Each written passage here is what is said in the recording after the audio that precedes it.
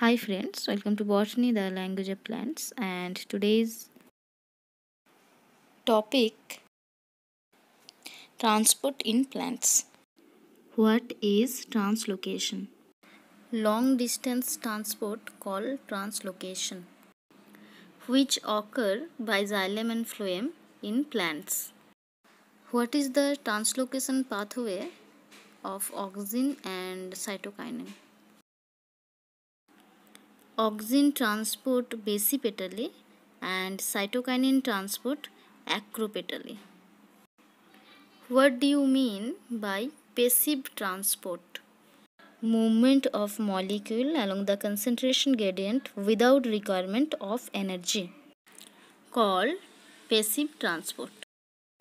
What kind of passive transport present in plants? Diffusion, facilitated diffusion, osmosis diffusion and ion channel. Describe about diffusion. When substrate move along concentration gradient through cell membrane without any special pathway.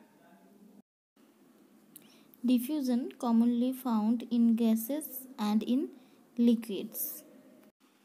What is facilitated diffusion? Substrate movement occur through cell membrane along the concentration gradient to a specific site. Example fructose movement. Give some description about ion channels. Channels are pore forming membrane protein allow ions to pass through the channel pore. Ion channels are two types open ion channel and gated ion channel. What do you mean by porin?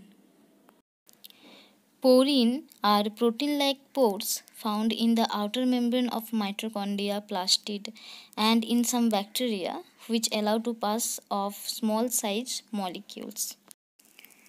What do you mean by aquaporins? Ion channel by which water pass called aquaporins and uh, a aquaporin surrounded by 8 proteins. What is uniport, symport and antiport movement? When translocation occur in a single direction and single molecule pass through the transport protein from one direction to another is called uniport. When Two different solute or molecule transport in a opposite direction on same time then it is called antiport. When two different solute or molecule transport in a same direction on the same time then it is called symport. What is active transport? Transport occur against concentration gradient so here energy required to transport. In active transport system, molecule transport by carrier proton which are called pumps. What is crystallo-colloid complex? Protoplasm with water produce crystallo-colloidal complex for transport. What do you mean by partial pressure? When a system contains two or more than two diffusing particles, then all particles exert their own diffusing pressure, which pressure called partial pressure. What do you mean by independent diffusion? When system contain two or more than two diffusion particles, tendency to all particle to diffuse according to their own partial pressure or concentration known as independent diffusion. What are diffusing affecting factor? Temperature, substrate density, medium density, concentration diffusion pressure distance. What kind of permeable cell membrane present? Four types impermeable, permeable, semi-permeable and selective permeable membrane. What is impermeable membrane?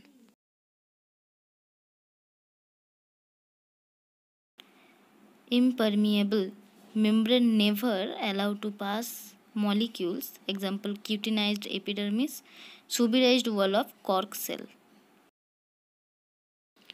what is permeable membrane membrane which allow to transport both solute and solvent from one side to another side called permeable membrane. Example plasma membrane and cellulose layer.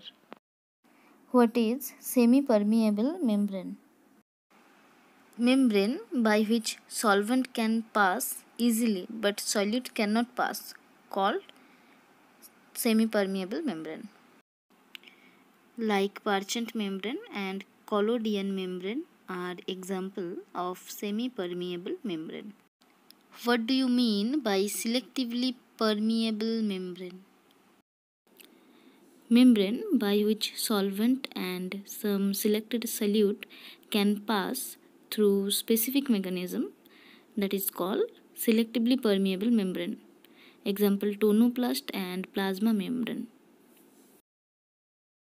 If you like this video then press like button. Subscribe to my channel. Press the bell icon to get notification and also share it. And thank you for watching this